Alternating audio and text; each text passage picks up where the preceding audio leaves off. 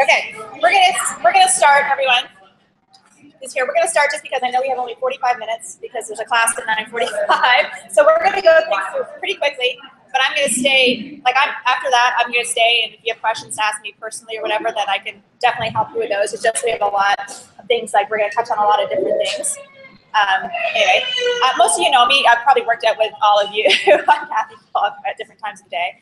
Um, I started this kind of quest for nutrition knowledge. Gosh, when my daughter was born 14 years ago, I just couldn't believe the amount of crappy food that was out there to feed, you know, your little kids and stuff. And I just, I've always been interested in it. And then when we moved to Texas six years ago, I decided to go back to school and actually do something about it. So I graduated from the Canadian School of Holistic Nutrition uh, a year and a half ago, and I've just been doing some consulting work since. Um, so it is a real passion of mine just to, you know, get people back to eating healthy, whole foods. Um, and the biggest part is that everybody, everybody's body is different. So what one person may be eating is good for them may not be good for what your body is. Um, it could be, you know, you could have diabetes or thyroid issues or women's hormonal health issues. So, you know, what's good for one is not going to be good for the other. So that's where, you know, you read a lot of these fad diets and you think it's why isn't working for me because maybe there's something else going on in your body. So bear with me. Oh, absolutely, yeah. I can't move closer because Ray's got this, you know, Ray's got this thing set up. And if I, I know, just come on. Well, I didn't come there, but he's got this. If I move there, then the camera, the camera doesn't work. So I think he was expecting people to sit on the floor or something. I don't know. So, so bear with me here.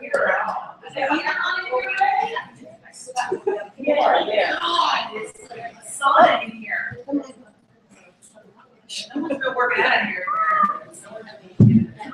Yeah. Okay, I won't go back.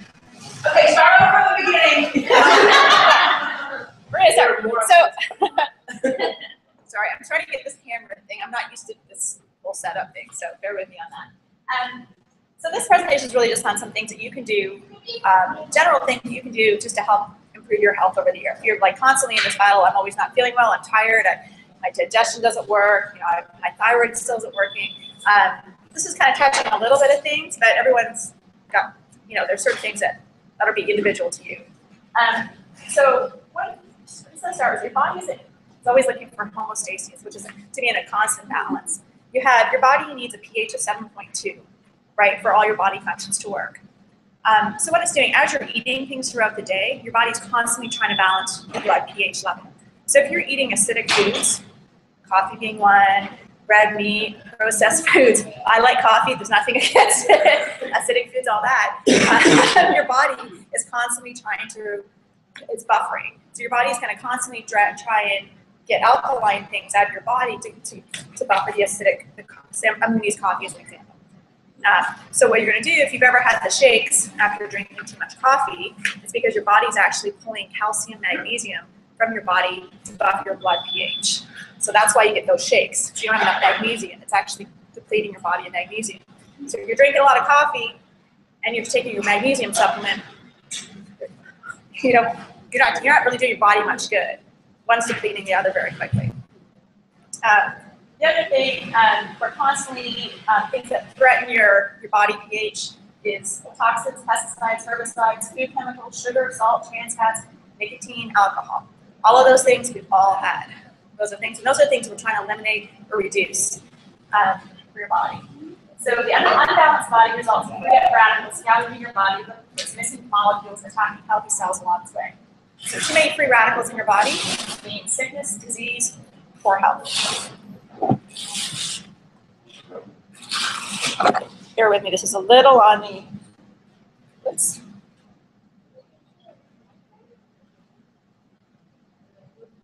Sorry. Ah! anyway, so what we're trying to do, what your, your optimally trying to do is by eating more alkaline foods. Um, anything that's healthy, whole foods, not processed, you're trying to make this a better balance. So some of the things you can do, uh, first is detox or cleanse. So why detox? Well, your body, on average, carries 700 toxins at any given time. That's from things you eat, those are things that are outside, external. Um, so the outside toxins are you're constantly you're inhaling them, you swallow them through your food, through the water supply. You're absorbing them through your skin, through like creams or detergents, things, even like like through your detergents, through your sleeping in your sheets. Those are all toxins that are being absorbed through your skin. Then inside, by eating unclean food, meaning processed food, you're burning, um, you're getting metabolic toxins. So your body's constantly trying to get rid of those toxins because you're not burning them cleanly. Um, it just creates a lot of waste um, because your body is not able to digest the processed foods. So there's different ways to detox, and ideally you should do a detox at least twice a year. Usually they say spring and fall, kind of clean, clean things out. Um, you can do a juice fast. There's, there's all kinds of detox supplements out there. There's gentle cleanses, um, meaning just like drinking lemon water with chlorophyll every day for, for a week is a good liver one. Um, elimination diets probably works the best, is eliminating those uh, high allergen foods. Uh, dry skin brushing helps your lymphatic system. And castor oil packs, uh, castor oil placed on any part of your body will draw toxins out of it.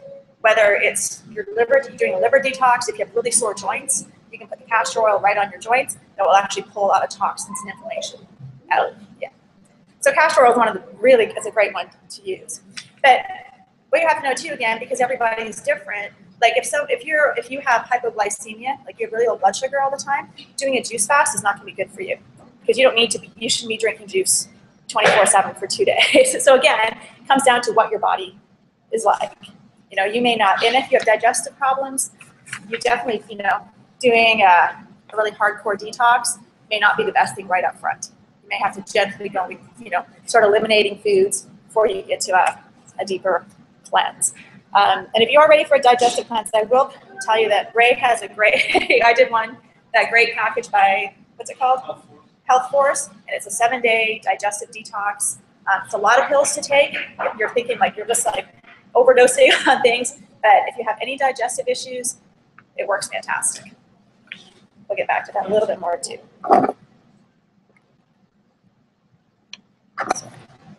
Then of course, just by eating clean food, that's these are all natural detox detoxes as well. Ugh, sorry, this is just very sensitive. Okay, so talking about so detoxing, the biggest thing you want to detox is your digestive system. Because your digestive system, everyone just thinks it's literally you know in your stomach and out the other end. It's not quite it's not, not quite like that. Um, your digestive system is your digestion, your absorption of minerals, and your excretion of waste. If any of those aren't working, you're going to build up the toxins in your system, and your body is not assimilating vitamins and minerals properly. Um, things that you might notice, even in your kids, that their digestion's not working properly. Um, if they have allergies, and then they have allergic shiners, those big black spots you see a lot of people have under your eyes, that's a signal that digestion's not working properly. Um, asthma, attention deficit disorder, colic, constipation, diarrhea, ear infections, eczema, bedwetting, obesity, candida. Yeast is a big one. If your digestion's not working, you got too much, you're eating too much sugar. Um, headaches, migraines, weight gain. These are all things that are signals that your digestion is off. So what happens then is, you know, if you're eating foods that your body um, perceives as like an invader in your system, what it what it does is that your your digestion is, isn't working properly. You're actually um, large like protein particles are getting through your intestinal wall into your blood system, and then your body perceives that as a foreign something foreign because it isn't digested. And at that point, it causes undigested particles cause mass inflammation in your body. And that inflammation can be in the form of um, allergies, fatigue, irritability, asthma, IBS, joint pain, headaches. Joint pain, I think, is one of the biggest ones. People realize, you know, my knees hurt all the time, my ankles hurt, my, you know, everything hurts. And by just cleaning your digestion, digestion, it can actually improve those immensely. And I've done it myself. I've done the 30 day, no grains, and like amazingly, like my knees didn't hurt anymore. So just get a lot of um, just metabolic toxins pulled in, you know, so and that's, that's because of your digestion.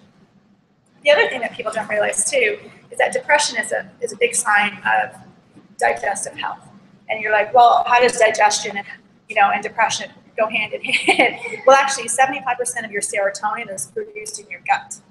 So if your digestion is off and you're not processing things properly, then you're not producing serotonin, and that serotonin is needed, obviously, to make you to keep you a little happier than you are. So you know, so if you're trying a lot of things for depression, um, that's just one thing that you can try is looking at you know how your digestion is working properly. Um, so, so, so some things you can you can just do quickly to, to see you know how you are about your digestive system. Um, eating fruit alone. A lot of people will eat fruit with, with part of their meal or after their meal. Problem with that after a meal, um, because fruit digests really quickly, and proteins and starches don't, it'll actually sit in your stomach and it will actually, actually ferment the foods that are in your stomach. So, so eating fruit separately will actually be a much cleaner option to do that. Um, your last big meal by six or seven. Now, I know some people that's impossible because of their, you know, their work schedule, their kids' schedule, whichever. But if you can even, if that's a problem, then try to make your, your big meal at lunchtime and eat, have something smaller. And then if you do need to eat um, in the evenings, just make like before bed, make sure it's you know it's a it's a very easily digestible food. When you say don't eat the fruit with the meal, Mm-hmm. my husband likes to eat an apple like almost like twenty minutes after he eats Yeah. dinner. He's like, "You have the apples, whatever." Is that too close to the meal? It is, it, it is because your It is. protein, it is, but if, and again, it's, it depends. If he is not having any digestive issues and it can process that, okay, then, you know, I've heard people say, well, I have no, it's, it's okay. But generally, if you're, if you're looking at it and you're having, you know, you're having, I can't lose weight, I can't do this, I can't do that, then start looking at how I'm eating, you know? And it's actually more clean to eat the fruit, you know, have it twenty minutes before his meal, Oh, before. right? Because then it's gonna process that much quicker. I see. So that's, it's just a better idea Okay. for that. Um, and then I know it sounds funny, but chewing your food well. I tell you, most of us do not. We are such, such in a rush. We don't chew our food. And the problem with that is, especially with um, your carbohydrates, the digestion starts in the mouth um, with the saliva. And so if you're not chewing it properly, you're actually getting whole particles going through your digestive system, taking that much longer to digest. So next time you eat, honestly, think about it, and I'm guilty of it. Think about how many times you're chewing something and whether you're like you know leaving in big pieces or you're actually like chewing it a lot. And it's you'll you'll, you'll, you'll actually be amazed at yourself how fast you're doing that. Um, slowing down you need to take at least 20 minutes to eat. I know everyone's laughing. I don't have 20 minutes to eat. I have kids. I know how it is. But um, it actually does take that 20 minutes for your brain to know that you're full. Um, and then last the other is pay attention to your frequency of your bowel movements uh, you should have at minimum one a day. Two is, is a lot better. Um, if you're not having one a day, then you definitely have digestive issues and constipation issues, and you need to look at those things. Um, I know a lot of people have, not, have said, oh, I go once every other day. It's not really acceptable. You need to make sure it's at least once a day, twice a day is better. Um, adding probiotics to your daily supplements. Um, you should be doing this regardless. And you can take them, you can take them with food, you can take them without food. Um, preferably, if you want it like a multi-strain probiotic, and make sure um, that every every other time you buy them, buy a different one, so your body doesn't get used to the same one all the time. So you're mixing it up. So even if it's just a different brand that's got a slightly different strain in it, you buy like so say you buy them once a month. So next month buy a slightly different one, um, it'll- it'll just be better for bacteria in your system. Um, increase your fiber if you're having problems, you know, with digestion, going to the bathroom. Increase your fiber. Um, the only thing I wouldn't suggest is the psyllium fiber because psyllium fiber actually will absorb 40 times its weight in water in your stomach, in your intestine, sorry, and um, that can just cause actually cause constipation. If you're not if you're not you're, if you're not drinking enough water, that it will actually absorb in your intestine. Um, and then eating whole foods, eating foods that aren't processed will help your digestion uh, work much quicker because your body is able to assimilate them better. Oh, and the last one, sorry, I didn't put it up there, but it's a big one. Don't drink water with your meals. Don't drink anything with your meals. um, the biggest thing you do if you ever go out for dinner, they give you this big glass of water full of ice, like ice water, with your meal. Problem is, is that you're diluting all your digestive enzymes. So all the enzymes that are being produced, as soon as you start eating, you, you start body starts producing all these enzymes. Um, by drinking water, you're actually flushing the enzymes out of your system. And the, and then the cold, and then because it's cold, it's actually like freezing your digestive organs. So if you're gonna drink anything, I know everyone's like, I always drink cold, ice cold water, especially in the summertime, right? Wine's okay. No. Um, you heard it. That's it. No. Um, so if you're gonna drink something, I know it's hard because you know you want to. If, you know, if you're gonna drink some room temperature water with, with your meals, um, then I'm talking. You know, I mean, we're not drinking wine every meal. That's okay. But the water is like you know you're drinking. You know, I've seen it. You, you're drinking you know gallons of water with your meal, and it's ice cold water. So you're really not doing your digestive system any You good by doing it. after, I mean, like, You can drink it after, yeah, but I would wait at least thirty minutes after before you drink more water, or drink, you know, drink a lot of water before your meal, okay. um, which will help, you know. And the other thing you, will help fill you up too. Um, you could also take some, if, if you're feeling your digestive is not working great too, you could either try um, some digestive enzymes as well if you're having trouble breaking certain like proteins down, digestive enzymes before your meal, or even like a, a tablespoon of apple cider vinegar. That just helps start the digestive process. How many days you drink water prior to your meal? How much time? I would say like, I mean, 20, 30 minutes. I mean, you're fine. It's just helping cleanse things. But uh, during your meal, you're actually washing all your digestive enzymes out. So I can grab the, drinking water after your. Yeah, yeah, basically. Yeah, and if you can avoid the ice cold water, um, if you, you know, ask for it without ice. I know that's tough sometimes, but if you ask for it without ice, it'll, it'll do much better for you. I know it's hard in the Texas heat and you just want an ice cold drink. Is that how some cultures?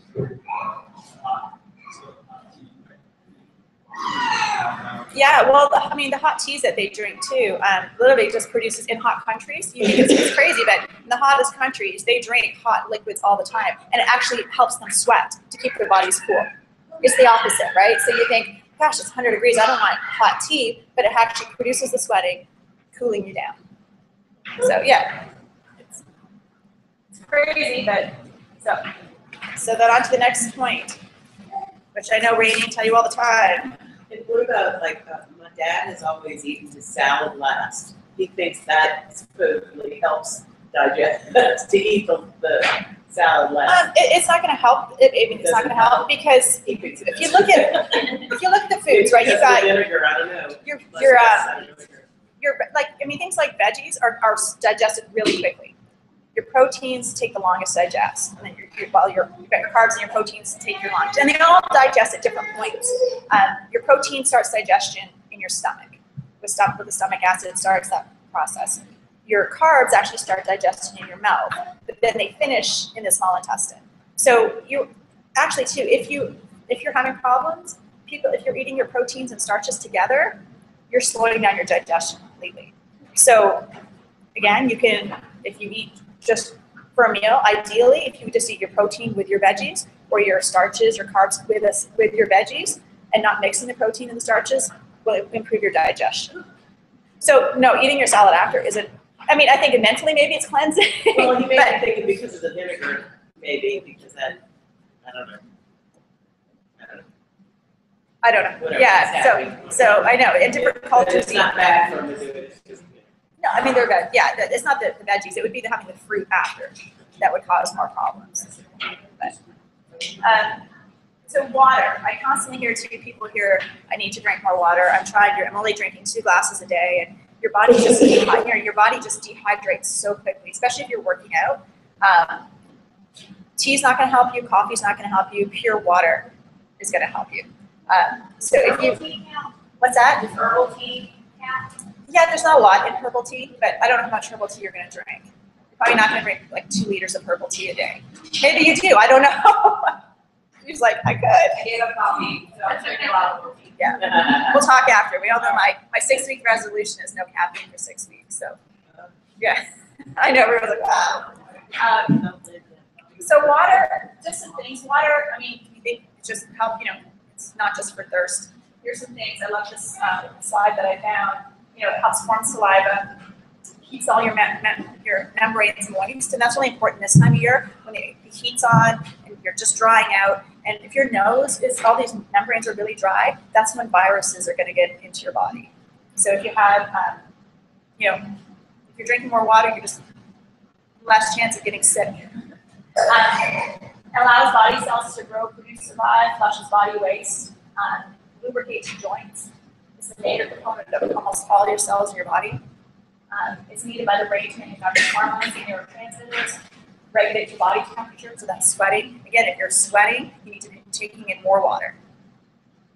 Um, acts as a shock absorber for your brain and spinal cord. It converts food to components needed for survival and digestion. It helps deliver oxygen all over the body. So it really is vital. And then, of course, the quality of water that you're drinking. If you're just drinking regular tap water without filtered all the time, you're actually you know, putting a lot of toxins into your body. So the carbon block filter is probably one of the better ones.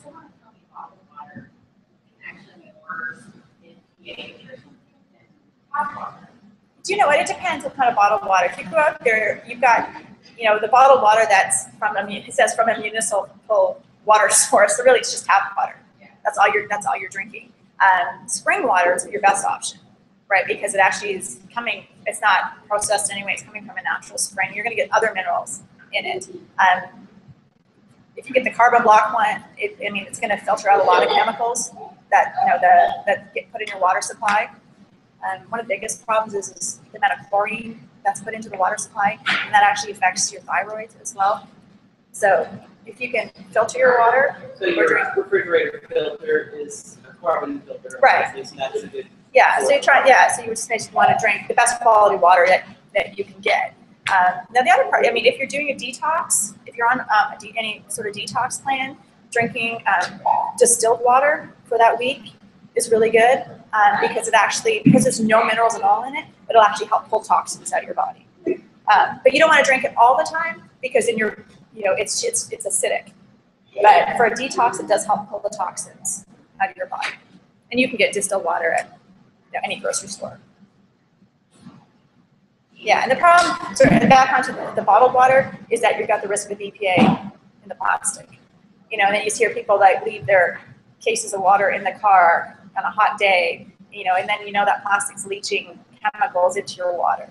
So if you can, I mean, and plus environmentally, if you have your own water bottle, I mean, I know we're all guilty. We all have water bottles, you know, cases of water bottles. We need them sometimes, but you're ideally better off, you know, filling your own water bottle.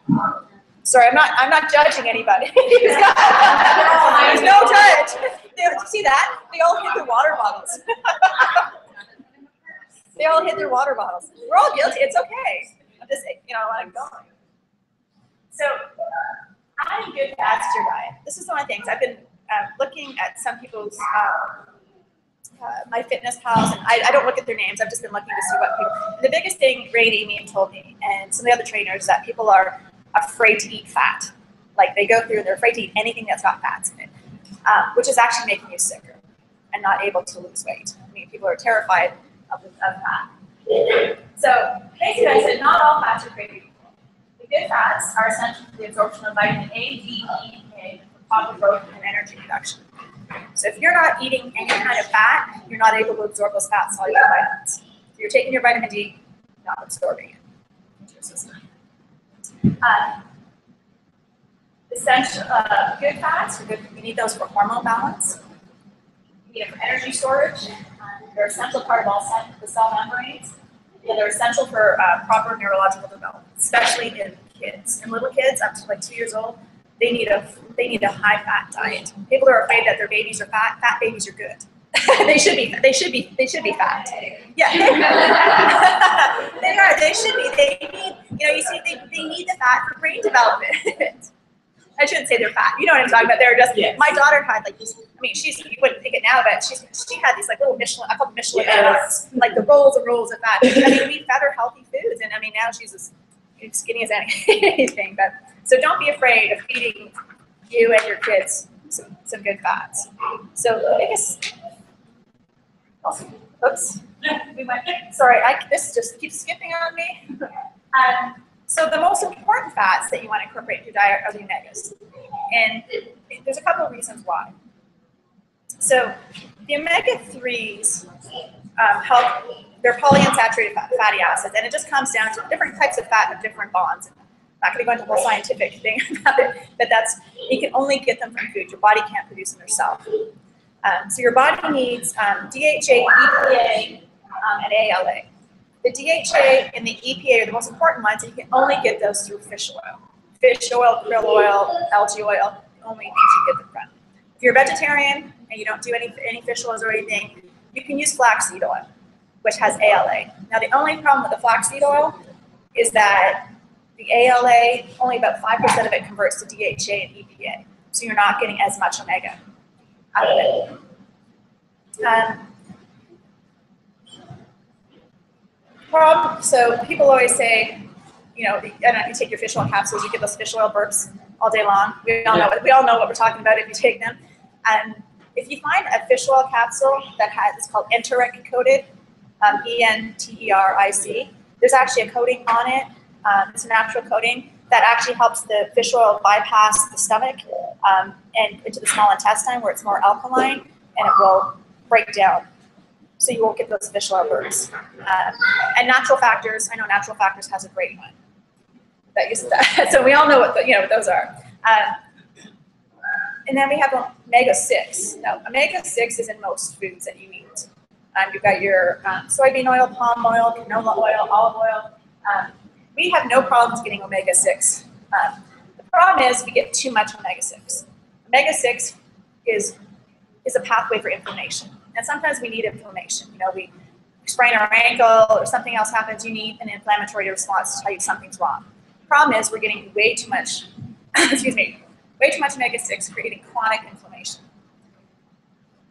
The ideal ratio of omega-3 to 6 is 1 to 1.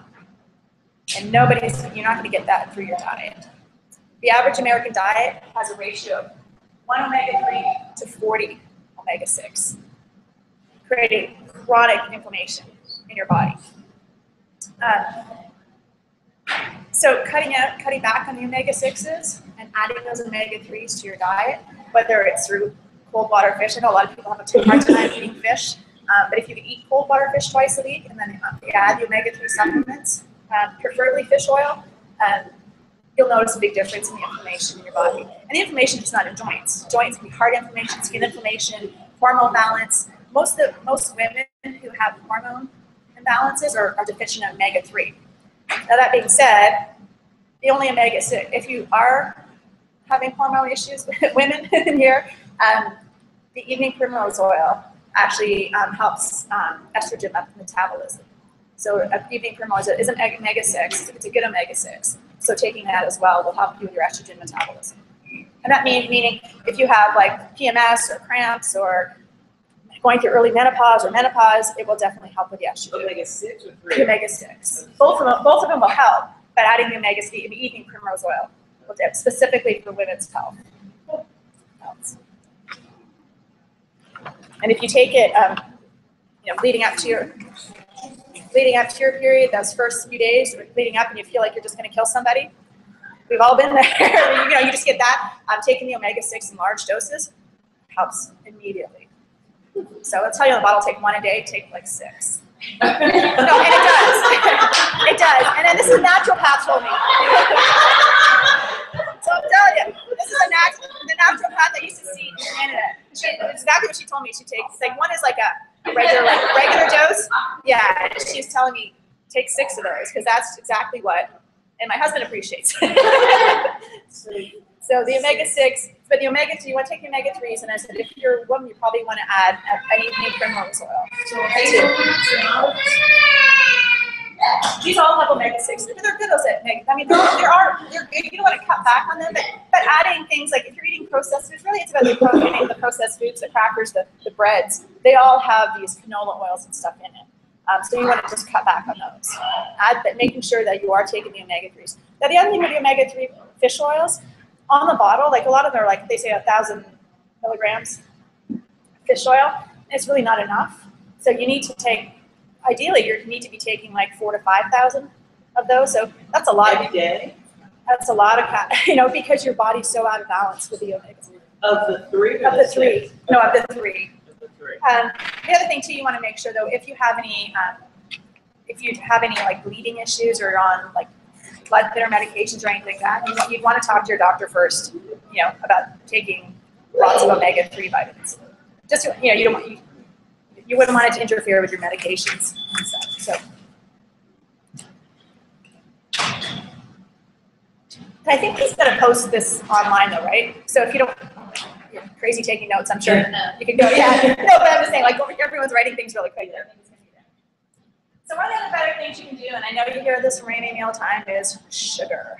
Sugar, sugar, sugar. We all love sugar, whatever form it's in, carbs or chocolate or whichever. Um, one of the interesting things is with sugar. I was like, people are saying, you know, you're not born addicted to sugar, but I think we are in a way because when you're born, your first food is your mom's milk or formula, and and that's a then that's a carbohydrate, right? There's actually a lot of sugar in it, so you're getting that, and then comes along your I don't remember I don't remember four or five months old, then your first food you're given is rice and fruit. So your first foods are carbohydrates. So your your body that's what you know. Um, the problem is babies or kids are not you actually don't fully develop your um, your your enzymes to break down carbohydrates until you're two years old. So we're giving kids all these sugars up till two, but they actually aren't able to break them down and metabolize them correctly.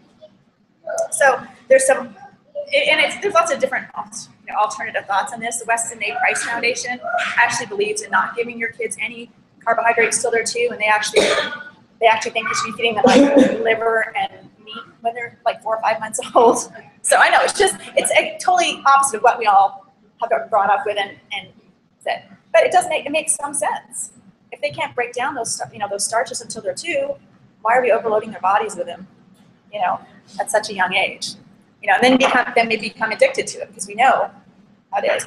And that brings me to the the addiction part of it is that any kind of carbohydrate sugar that you eat, you all notice that you just instantly feel good. It's this like thing in your brain that says, you know, I really like, even if it's, so I'm looking at the time, even if it's like, you know, it's pasta or it's a candy bar or bread, like it just signals something in your brain that says, you know, this makes me feel really good. And then you want more. I know I personally am like that. If I start eating one piece of bread, I need two pieces of bread. Then I need something else sweet afterwards because I just, I keep, you know, you keep craving it. Um, and then the problem is that it triggers your insulin. So as soon as you eat sugar, your insulin's released. And the more and more you eat, the more and more insulin your, your body's producing. And insulin, ex- all that extra insulin is stored as weight, stored as fat in your body. Um, and then extra insulin stored as fat also means excess estrogen for women. So a lot of more overweight people do have higher incidences of breast cancer because of the excess estrogen. So what can, so, and now sugar also, sugar can cause any of these symptoms. Depression's a big one because it really alters your mood, your mood swings go up and down with sugar. We're all the same. So, we cut out sugar completely, carbs completely? No. Your body needs carbohydrates. And I think that's the other thing I keep seeing that people are afraid of eating carbs. If you're eating good quality carbs, if you're eating, I mean, eating like brown rice, like whole grains, brown rice, quinoa, um, fruits a carb, you know, those are all those are all good things to eat in moderation. Stop not eating them every single meal. What about stevia? Does that cause the same response? No, it doesn't. It doesn't. Stevia does not. Um, the other sweeteners, um, like aspartame, any of the other chemical sweeteners can cause that. Uh, they say it doesn't, but the, the other sweeteners can cause um, neurological reactions too. But not stevia. Stevia does not, it's natural. Yeah. Yes, agave, also. Um, Yeah, yeah, things like agave, maple, like maple syrup, honey are still gonna cause sugar reactions in your body. So, I mean, they're not unhealthy. You just don't wanna be substituting one sugar for another because it's still sugar. But if you're making like a, if you're making something, cooking something, I would probably use, um, like we'll, we'll add honey to things the brown sugar. We'll use maple syrup. Um, we've started doing um, the coconut sugar in some things. It makes things really dark. Um, and my kids are like, these look like healthy cookies. you know, you know, but it's just you know trying different things, trying different things out there. Um, and the other thing with the, the carbs too, you can try um, instead of making things with grains to reduce the carbs. There's lots of al- different alternatives alternatives out there, like the almond flour, the coconut flour, um, just to reduce the amount of carbs that you're getting. uh, or that, or especially just bad carbs that you're getting. And depending on what plan you're on here, um, you know, what you're set up with, whether you're in what your body system's like. Some people are not having any carbs or doing like, and total paleo does not mean no carbs. That's the thing, right? People are afraid of that. Um, other people need carbs in the morning. Sometimes people work out at night and need carbs after. So it's really what your body type is, what your workout schedule is, um, to decide. What is good for after workout? Do you need carbs? You need, well, some carbs and protein, ideally.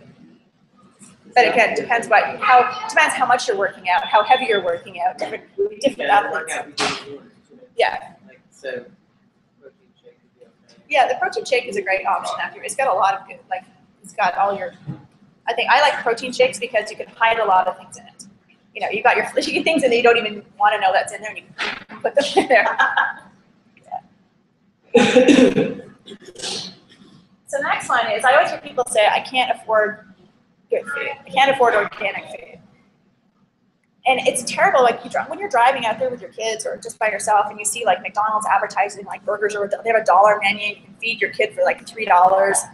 You know, you wonder why people, that's why people go there. Because if you're on a really limited budget, it's a really cheap option for people, right? They don't know any, it's, I can't afford, if I go and buy a smoothie, it's gonna be six dollars. But if I buy them a burger, fries, and a Coke, it's gonna be three dollars. People make that, make that decision.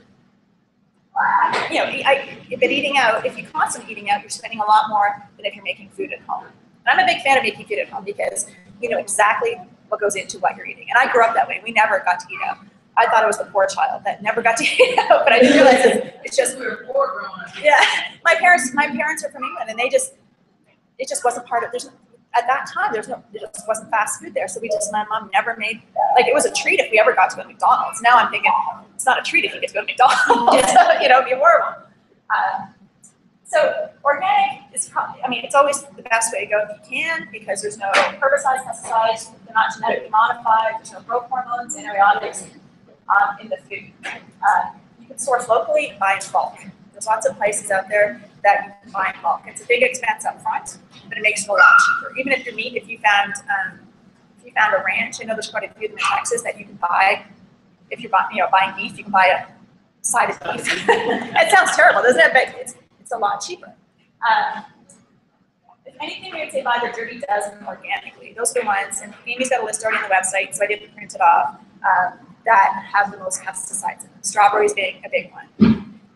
So if you can find them, and it's not always whether you can afford them, but sometimes you can't even find them. It's really hard to find, and depending on the season, you know, finding things organic. Um, eating natural whole foods is going to be a lot cheaper than eating packaged foods. So you want to concentrate on, on those. Um, and we, we're lucky here. We have so many great supermarkets in this area that you can choose from for that. Um, also, shop the internet for organic natural food suppliers. I've come across some really great ones um, that you just buy like a twenty dollar membership, like kind of like Costco, and they have they sell all these great things that reduce prices, and I've got a list of them here. Um, the other is making your own household cleaners. Because I know I like the Myers cleaner, which is all natural, but it's expensive. It's pretty expensive, but so uh, you know, buying some essential oils and finding your own recipes to make you know counter cleaners and stuff. You're doing yourself a lot of big favor by not having those chemicals in your house either, and the expense, you know, of buying them. Sorry. The next big one. Do you ever who reads labels on things? Are you shocked? Yes. Absolutely shocked. I wish I I forgot to read something this morning. So food additives. I have a printout here. I printed them off. Actually, I don't know if I have enough, but I can give you more. Um, so I'm not going to go through every one of them. But food additives are just you know toxic to your system, and some of the big ones. Um, so the the RBST, that's the one that's found in meat, milk, cheese here in the U.S. Um, and it's something that they're injecting the cattle with to make them grow quicker, and it causes problems with the cattle.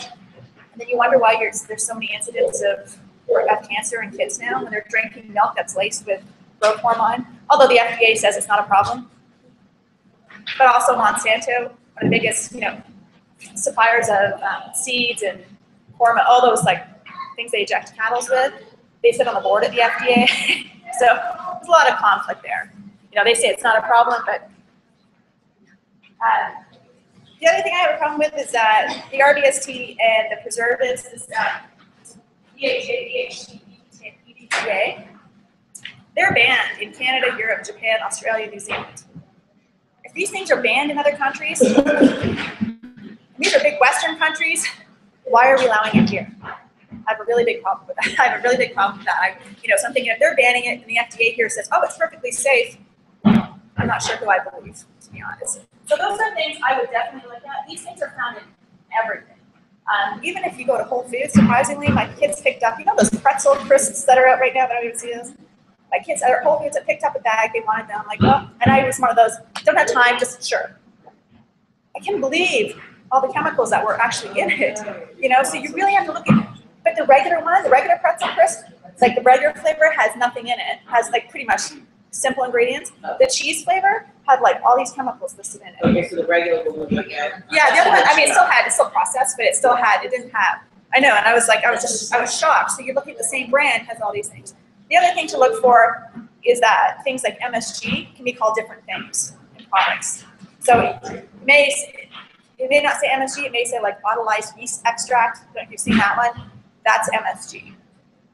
So you really have to be um, wary, you know, of what, of what you're buying. The artificial food color is another one. If your kid has any kind of attention hyperactivity disorders or anything, food coloring is a big one to cut out.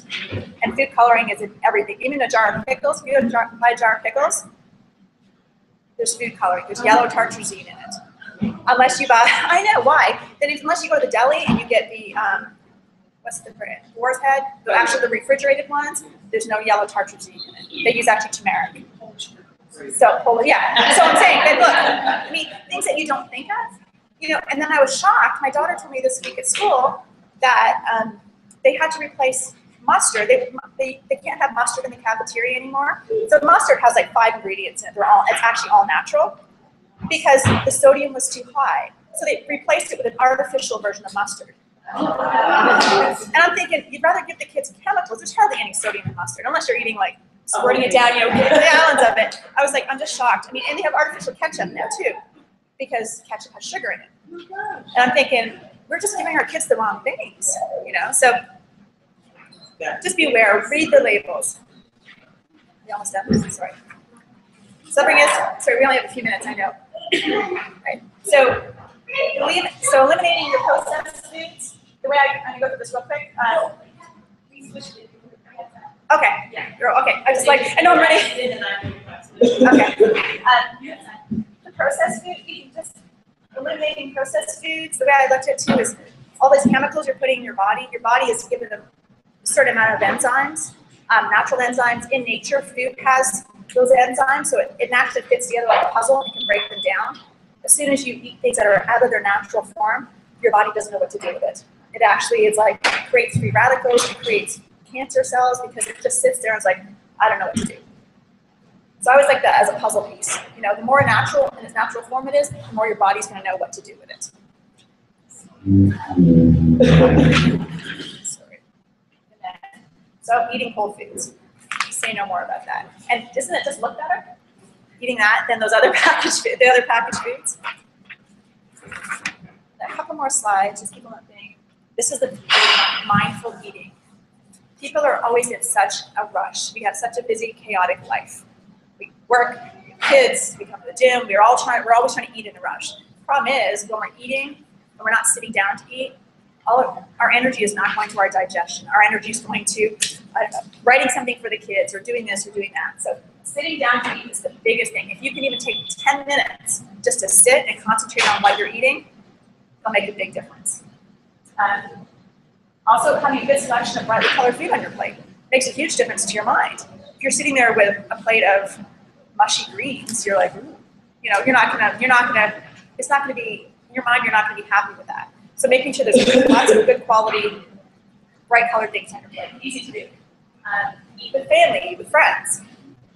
Uh, enjoy and savor each bite, and get to the bottom of why you eat certain foods. I know there's certain things people grew up with. The Diet Coke makes them feel good because they've had it since they were a kid.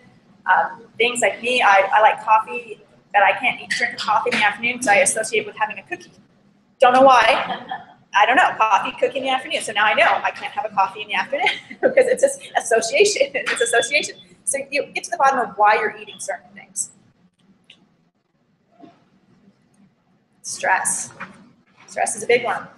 It's a fight or flight syndrome, which you need, which you needed because you know when you're actually in the case, an emergency case where you need, you know, your physical stress takes takes over. Problem is when we're constantly in that state of stress, we raise our cortisol levels. A cort- raised cortisol level over a long period of time equals weight gain, constant weight gain. Um, in survival mode, optimal amounts of cortisol can be life-saving because it actually diverts all your energy to, to life-saving and it, it shuts actually shuts down your like endocrine system, your digestive system. All your energy is going there. So if you're constantly in that state of, of stress, rest your, you know, you're, shutting down all these body systems at the same time. Plus, it's suppressing your immune function, it's increasing your insulin levels, decreasing your libido, skin problems, obesity. Bottom line stress is about how you react to a situation as well. Everyone's got different stresses. It's how to think about how you react to it how you can change your reaction to stress. That will help. Most of us don't get enough sleep at night, sadly, because we either just don't go to bed early enough or we just we just can't sleep. These are just some suggestions on how to get enough sleep. Um, going to bed at the same time every night. It's not always possible. Try. Um, eliminating any stimulant beverages like caffeine anytime from I would say from noon on personally, me personally.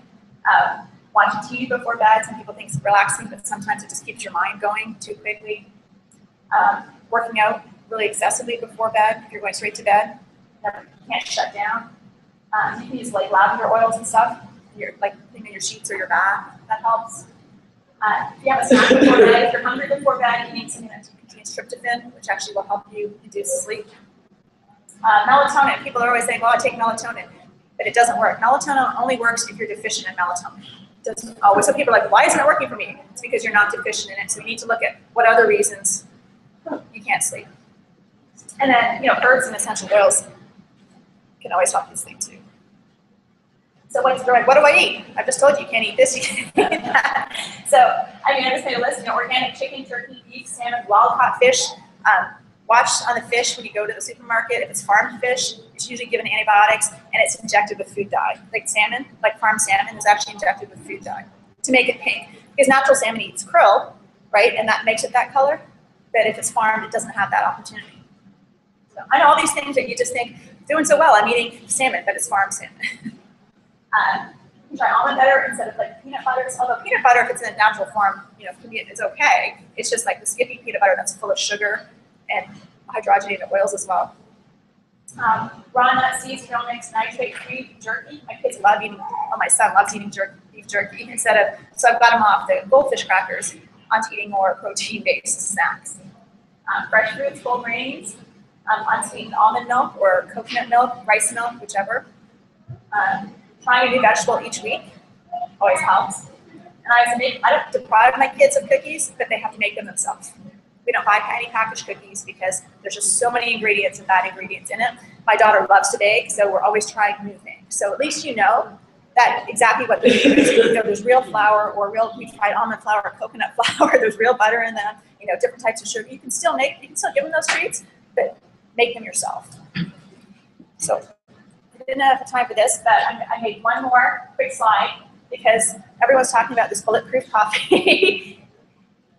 I don't know if, if, has anyone not heard of bulletproof coffee?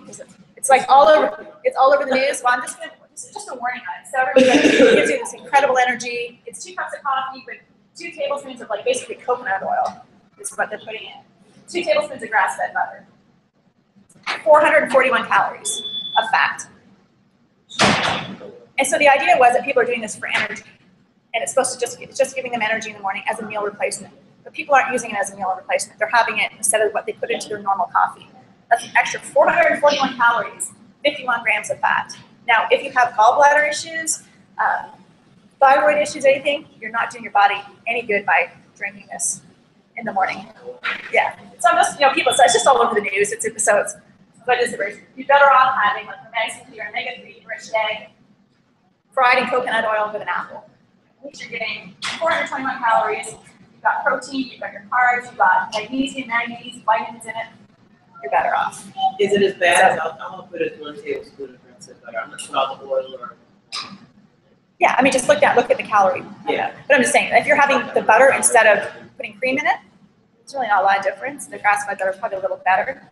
But that's just, people don't really, it's like when you go to Starbucks and people order, A lot of oil.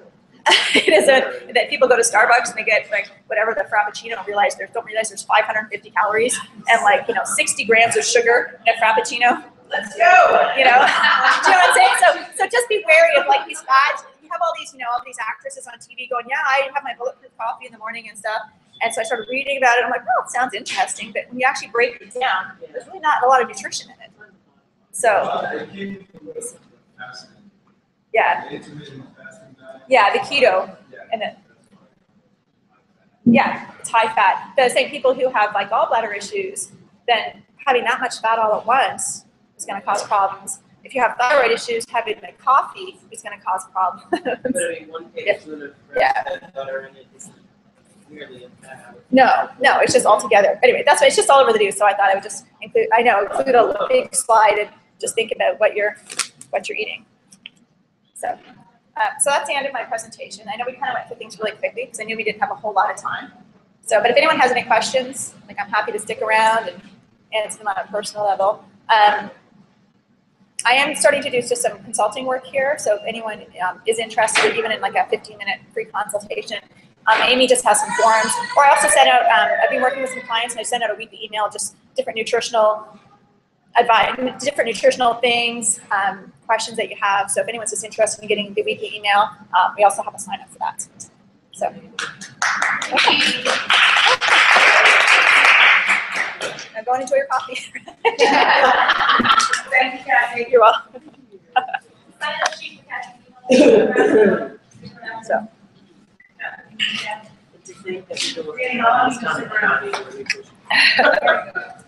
I don't do a lot of talking in the morning, as you know. I that people in the morning don't talk a lot.